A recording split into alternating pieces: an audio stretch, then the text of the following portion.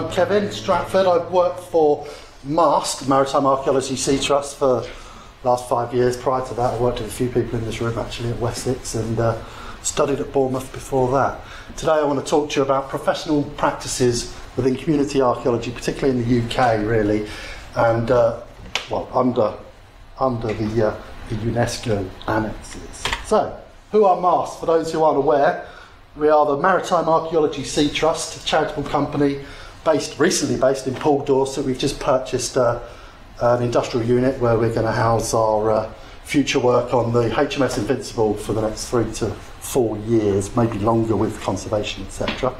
We are a uh, UNESCO accredited NGO. We've uh, we've actually been involved with South American, uh, the Caribbean uh, meetings recently, talking about diver training over there because we run our own basic diver training, similar to the NAS, but already directly under PADI, SSI, BSAC, going directly towards the diving, the actual diving uh, companies themselves. So we have been involved in a number of major shipwrecks projects, including the Swash Channel, which I won't go into too deeply, because I know Grant's got to talk after our break on this. That's out of Poole as well. And a couple of the carvings, as you can see on the right, they were some of the things that MAST helped to uh, fund the conservation thereof afterwards as well. Amazing things. Uh, the Bamburgh Castle wreck, which is actually just up the road, and was that picture there. It's an amazing site, really intertidal site with nearly three quarters of the wreck complete, plus deck features including windlass and two two masts. Unfortunately, that's been reburied because it came out after the big tidal surge a few years ago, which stripped metres of sand off the beaches there, and within within 18 months it's covered back over. But it is now protected under the Ancient Monuments Act as well. So again, and then we also worked on the Esmeralda in Oman as members of uh, partnership with Bournemouth University, the Oman Ministry of Cultural Heritage, National Geographic, and also uh, Blue Water Recoveries. And that's a picture of uh, myself actually with a member of the Omani Ministry of uh, Cultural Heritage. And part of it was primary survey, primary excavation of two, well, one untouched wreck from uh, Vasco da Gama's fourth fleet that went to India in the early 1500s. But it was also um, infrastructure building, skills building from the actual capability of being able to go diving all the way through to post-ex and museum processes, which the material is now in the museum, some of the material anyway, uh, being studied and conserved there. Also, we've been working on the Alderney Elizabethan shipwreck. I've uh, been going out there every summer for the last three or four years. We'll be back out there in September. So it's part funding this as well, helping out the states because also they're low on, on money. So we'll cover our costs to get out there and we'll be put up by uh, local representatives. But that's uh, an interesting site because it's probably one of the earliest examples of a standardised cannons within within the navy. Which, if you pick up a cannonball on on on the ship, you could put it in any cannon; it'll work. Which, believe it or not, wasn't normal before that site. And then obviously the HMS Invincible, which in partnership with Bournemouth University and the Royal Navy Museum, we received a two million, just over two million, LIBOR grant last year to uh, excavate cons- uh, recover and conserve a lot of material from that site, hopefully, which will end up in the museum within the dockyards adjacent to Chris, Chris's site, actually. okay, so uh, during my time uh, at MAST, we did a lot of training with uh, PADI divers and BSAC divers, as I said, and a lot of talking to them. I've realised we've got a problem in this country with World War One and World War Two wrecks, especially the density on the amount, sheer amount of wrecks that we have both in this water, these waters and international waters abroad is probably pales in comparison to many other people. These wrecks, usually made solely of metal, different types of metal, are in many cases in precarious positions and they're very hard to preserve underwater, especially because of the different composites of metals and their different corrosive properties there. So therefore, I mean, there's some even on the verge of collapse, like I don't know how many of you dive, but the James Eagan Layne out of Plymouth, if you go there on the right day, you can actually see the sides of the ship waving in the tide. I just don't want to be there the day that thing collapses, but uh, yeah, it's a, it's a real problem, and I think we're, we're not really doing anything at the moment. So, so many wrecks, not enough archaeologists or funding to do anything with them, or significant with them. Most of the work to date has been done by the UKHO as a basic uh, geographical sur- ge- yeah, geophysical survey of these sites. So we don't really have much beyond general dimensions, height, width, length, and whatnot. It's not actually looking at their condition and, and whatever objects are on board and the people that are on board. At the end of the day, it's all about the people that are serving on board these ships. And just a list of how big the wreck is, is doesn't really do anything to answer that. So, within the diving community, I had a little look around, and of the most popular 100 UK dive sites, this is from uh, DiverNet, and was done a few years ago in 2015, over half were sunk during one of the two world wars that's within the British waters, this is.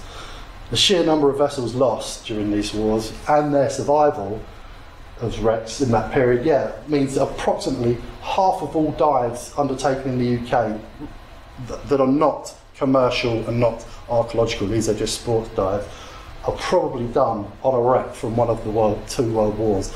Either that or it'll be uh, you'll do a dive and a second dive might be on a different site, which could be from that period. And uh, published, I think, by BSAC, this is roughly eight to ten years ago, there's two million qualified divers within the UK, which I'd suggest has probably gone up since then. So I'm doing a bit of uh, rough calculations because this isn't published anywhere. Worked out, I should say one of them, they all dive once per year within the UK. You could be anywhere between quarter, like a few hundred thousand and a million dives on shipwrecks where no discernible information is coming back within the archaeological community, where they're just going, visiting, taking pictures, putting the pictures in their whatever Facebook, social media pages, and nothing's actually being done with it. Not even a, a baseline level of uh, condition of these sites to see where the corrosion's happening, where the sites are falling apart, and if particular parts of the site should be looked at to uh, to undertake some form of preservation in situ thereon. Okay, so as I said, the number of the dives used in these sites is in huge dispro disproportion to any work we've done.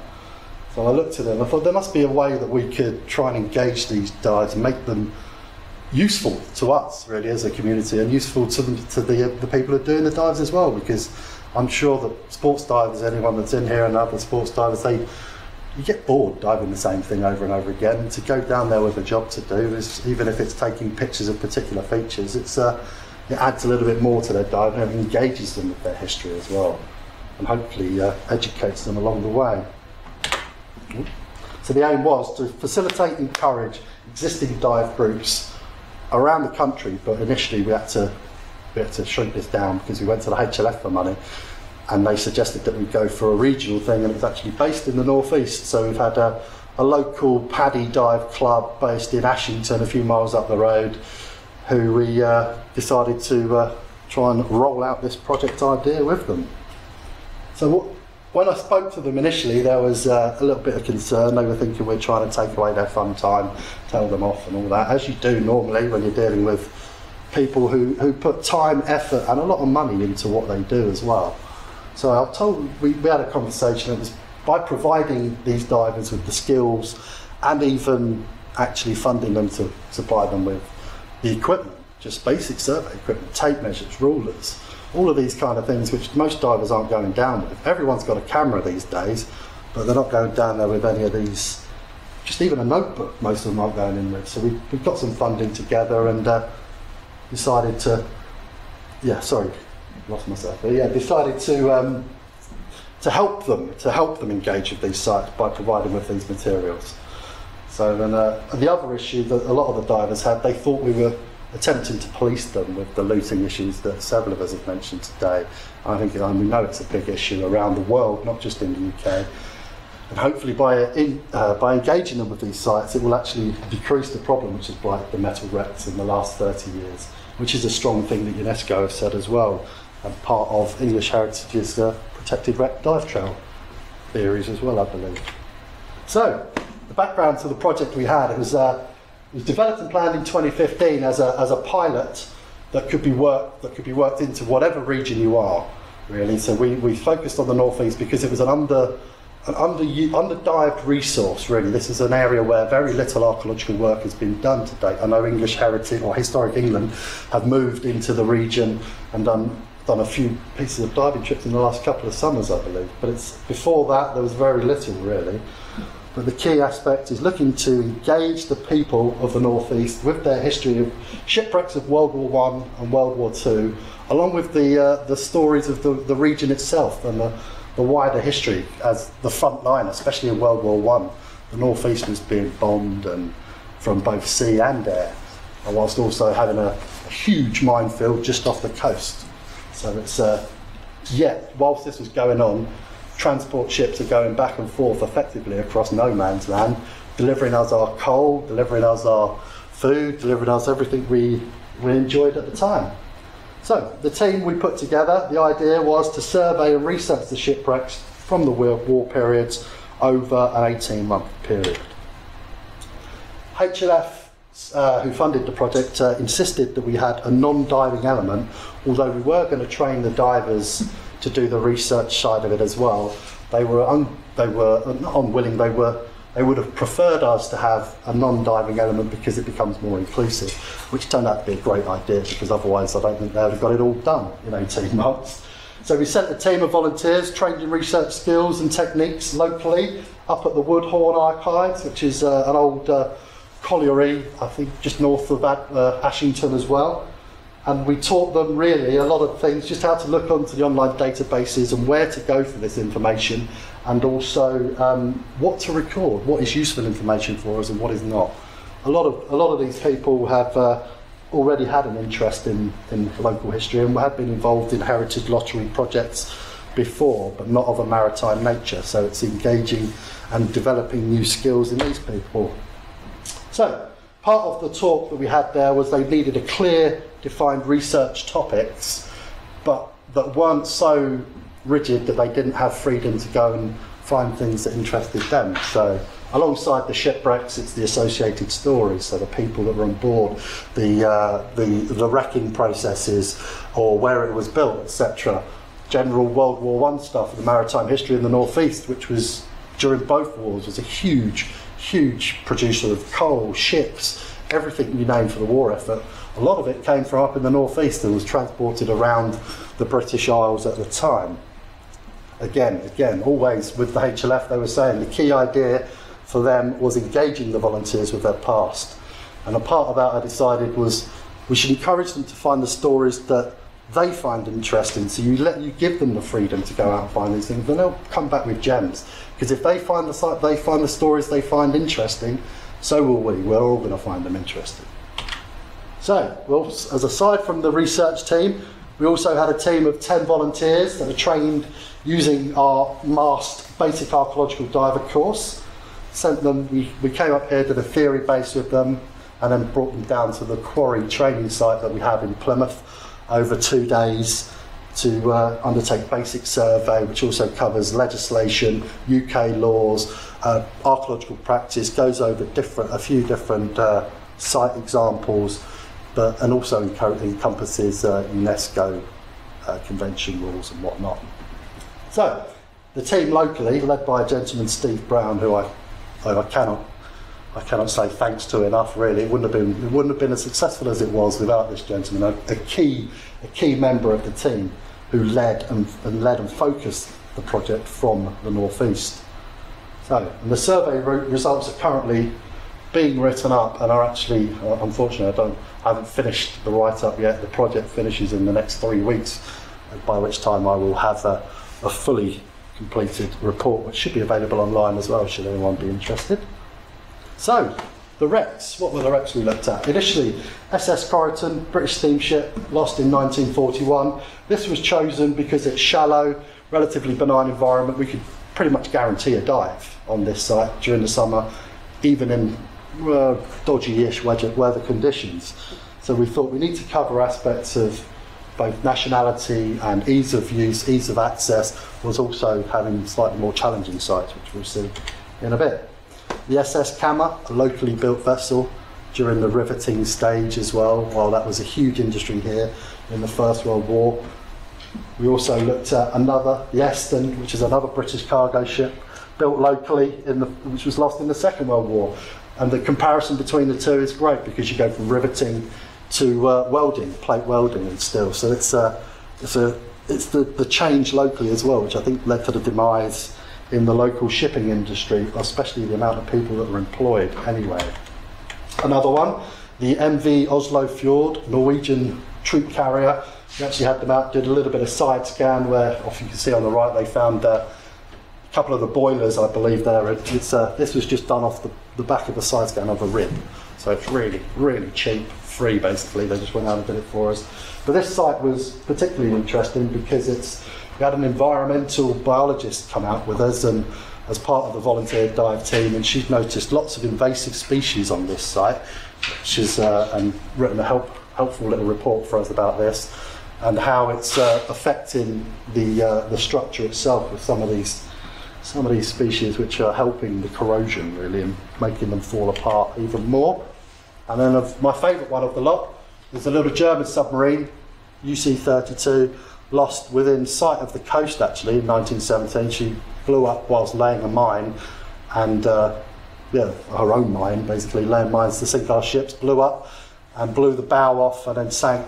But the very interesting thing that not many local people knew about this was that within a week, the, the, uh, the secret naval group called the Tin Openers turned up on site, dive, so they dive it under the cover of darkness, go in to a wreck which has had bodies on it for, the, for a week in black, going through looking for any intelligence they can find, which, I mean, to do that is there's another level of crazy, I think. But uh, it's a very it's a very interesting site because of because of that extra story, and no local people really knew. They know about the wreck, but they don't know about the stories that happened after. And I think this was only released, became declassified in the last 20 years or so. But another funny thing that happened on this site during the summer, we had uh, was it a naval a naval warship was in the area, and the skipper of the boat decided he had a dive team that he wanted, and a, a UXO dive team that went down on this site and attempted to uh, well blow up uh, one of the sub, one of the um, torpedoes that had been rolled out of the, the broken hull and was left on the side. And he invited the the TV down and everyone.